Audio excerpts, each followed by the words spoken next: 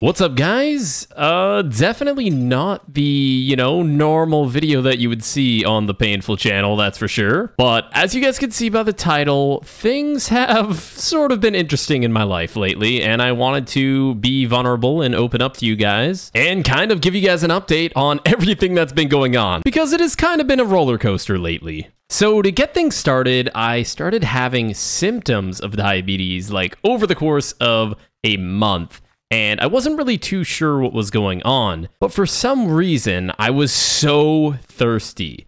Okay, like, guys, I was drinking two gallons of water a day, and just literally, it felt like I hadn't drank in years. That is how thirsty I was. And essentially, what was happening was even though I was drinking all of this water, my body wouldn't take in any of the water. It would basically just go right through me, and I'd end up peeing like 10,000 times a day. Yeah, it was kind of annoying, especially when you're trying to sleep. So yeah, the first thing I noticed was I just had this crazy amount of thirst, and I wasn't really too sure what was going on. I just figured I needed to drink more, so I just kept drinking tons and tons of water. But that's when things got even worse. Every single hour of the night, I would wake up because my mouth was completely dry, like not a, a sliver of saliva, which is actually kind of weird to say.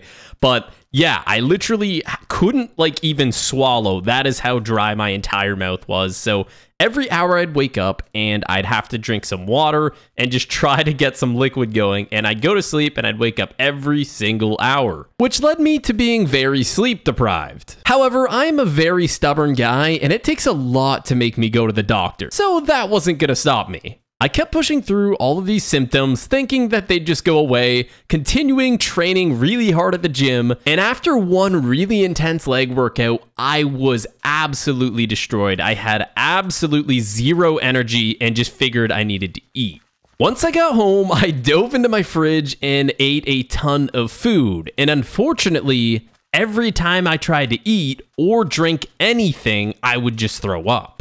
So, after a few days of not being able to eat or drink anything, I ended up losing 21 pounds. Now keep in mind, it's not all muscle as I was extremely dehydrated. I figured something very bad must be happening and I should probably book a doctor's appointment at this point. So, once I showed up to my doctors and explained to her what my symptoms were and what was going on, I immediately was sent to the hospital. At the hospital, they conducted a bunch of blood tests, and I am not joking. I literally had so many blood tests, I didn't even know I had that much blood in my body. But after a few hours of getting blood tests done, I had a multiple different doctors asking me if I had diabetes in my family. And at that point, I knew something was up. And after a couple more hours, the doctor came in and let me know that I have type 1 diabetes.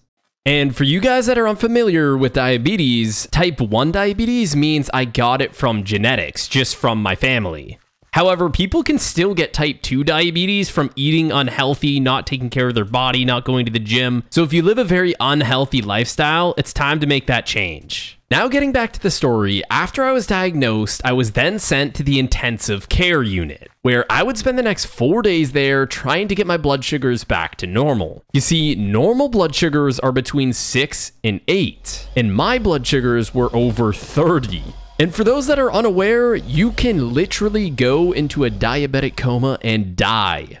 So it is very serious that your blood sugars are at a normal level. I ended up staying in there for four days and trying to learn as much about diabetes as possible. So because my body doesn't produce insulin anymore, I have these pens that are like little needles and I have to take five of them every single day. If there's anything that I learned from this is you need to be grateful for everything that you have because tomorrow is never promised. And another thing I'd like to add is life always throws challenges in your way, but that is all they are is challenges.